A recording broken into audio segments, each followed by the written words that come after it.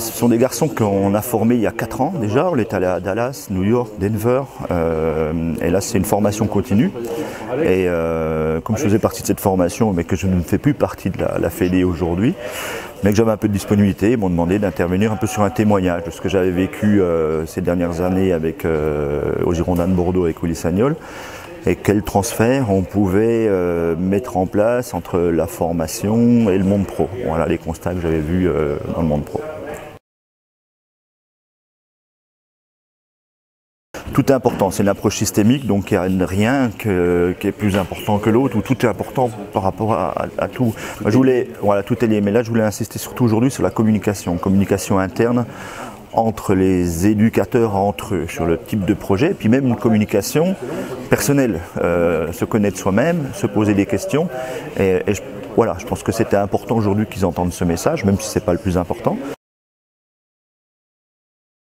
J'ai comment dire, développé un, un- partenariat avec la Fédération française et la MLS qui était en recherche de, de, va dire, d'un savoir-faire pour développer les jeunes et d'améliorer la, la formation des jeunes euh, en Amérique du Nord, parce qu'on a aussi des clubs canadiens.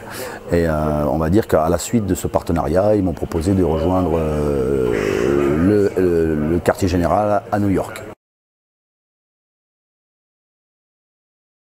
Dans tout processus de formation, il faut recycler les idées et aussi les contenus et rafraîchir euh, les têtes. Donc on a organisé un, recyclage avec la première génération de, de, coachs formés et euh, il y a deux parties euh, à ce, voyage. Un, on part, en- on est en France, donc on a été accueillis à Nice, à Monaco, de très belle façon. Ici aujourd'hui avec un focus encore sur la préformation à Aix-en-Provence et, la, comment dire, la, avec la FFF bien sûr en, en- en Et derrière on part en Espagne, on part en Espagne à, Madrid où on va, avoir des interactions avec l'Atlético Madrid, le Rayo Vallecano et le Real Madrid. Et on finit le, voyage en immersion euh, trois jours à Malaga. Euh, on va être surtout concentré sur la, zone 1, le, football des 5-12 ans, mais bien sûr avec, euh, à, la, fin un match Malaga-Madrid qui devrait finaliser le voyage sous les meilleurs auspices. On vient, s'imprégner de, ce que- font les meilleurs, donc il y a la France, mais pas seulement, euh, il y a l'Espagne, il y a l'Allemagne, et on va essayer de, plutôt que de copier-coller, de savoir qu'est-ce qu'on peut appliquer, qu'est-ce qu'on peut ajuster et qu'est-ce qui est possible de faire pour construire notre propre philosophie et notre propre système. C'est surtout pas d'appliquer euh, bêtement ce qui se passe ailleurs. Euh, je pense que c'est pas possible.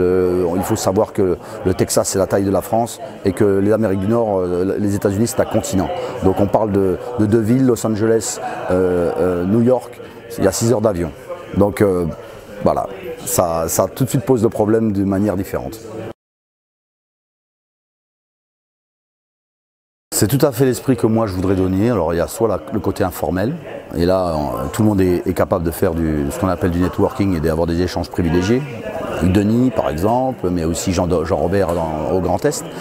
Et après, il y a ce qu'on peut faire euh, euh, pour, échanger peut-être plus les joueurs. Là, on est plus dans, de l'officialisation. Donc, euh, moi, j'ai l'habitude d'encourager ce genre de partenariat. C'est plus lourd, parce que ça implique des, des, des, souvent des, moyens financiers, des décisions politiques. Donc on va voir ce qu'on peut faire, mais je suis tout à fait, moi, pour l'échange à la fois technique, mais aussi qui repose sur des valeurs humaines et aussi des échanges culturels.